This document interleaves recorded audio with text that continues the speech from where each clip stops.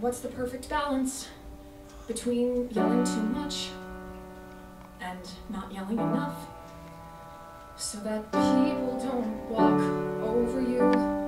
Is it a crime to just want to be nice, to avoid confrontation, show everyone a little respect? Time after time, I find that I'm struggling to tell you what's